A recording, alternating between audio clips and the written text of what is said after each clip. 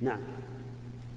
فضيلة الشيخ قدمت بطلب إلى شركة الراجح للتقسيط لشراء سيارة فأبلغوني بقيمة القسط والدفعة الأولى.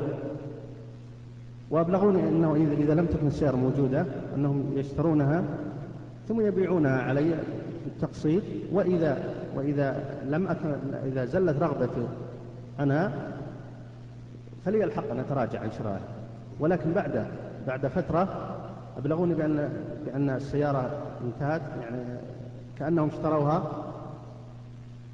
فسألتهم هل هل كتبت باسم الشركة؟ فقالوا لا إنما عليك الحضور وأخذ أوراقها وتسجيلها باسمك في المرور. تسجيلها باسمك وأيضا السيارة أخبرني بقول أنها قد تكون وصلت إلى إلى معرض يتعاملون معه. قد تكون وصلت يعني لم تصل السيارة. فما أدري هل الطريقة هذه شرعية أم لا. وما هي الطريقة الشرعية؟ نعم. أولا إذا كانت السيارة ليست عند البائع ولكن باع عليك سيارة على أساس أن يشتريها لك ثم يبيع عليك. فهذا حرام ولا يجوز. إلا إذا باعها عليك برأس مالها فلا بأس.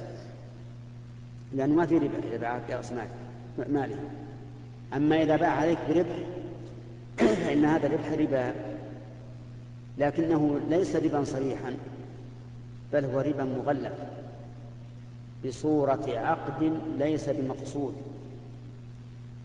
فإن البائع لم يقصد الشراء لنفسه من الأصل. إنما قصد الشراء لك. فيكون كالذي أقرضك القيمة بربح.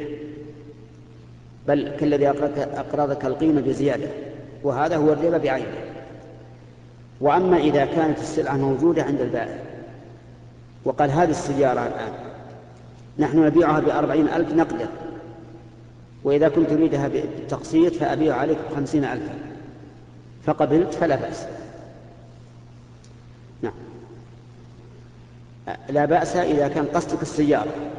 أما إذا كان قصدك فلوس السيارة أي تأخذها وتبي تبيعها فهذه مسألة يسميها العلماء مسألة التورق وفيها خلاف بين العلماء منهم من أجازها ومنهم من قال إنها لا تجوز. أما إذا لم تكن موجودة عندهم فإنها حرام ولا يجوز لأنها بيع ما لا يملك ولأن شراءها شراء صوري ليس مقصودا إنما المقصود ما يأخذونه من الربا. والدليل على ذلك أيضا ما ذكرت أنهم يقول نكتبها باسمك من المعرض ما نكتبها باسمك وهذا واضح جدا أنهم ما أرادوها حتى لو كتبوها باسمه ثم لو كتب البائع باسمه ثم نقلها إليك فهي نفس الشيء.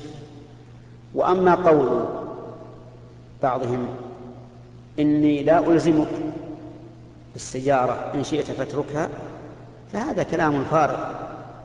لأن الرجل ما جاء يقول أريد السيارة الفلانية وهو يريد أن أن يتراجع أبدا. وإذا قلت أنه تراجع واحد بالألف هذا ليس بشيء. يعني ما يمنع الحكم. فالذي نرى أن هذه الطريقة حرام ولا تجوز.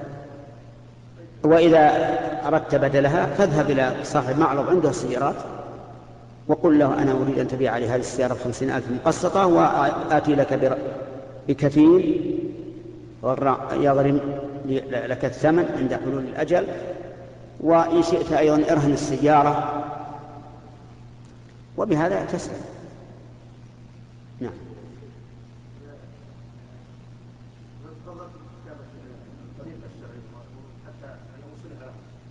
هذه الطريقة الشرعية هذا ما في طريقة شرعية إلا هذا. إذا كان عندهم تقول اشتريت منكم السيارات الفلانية بكذا وكذا مقسطة لكل شهر ألف ريال كل شهر ألفين ريال حسب ما تتفقون عليه.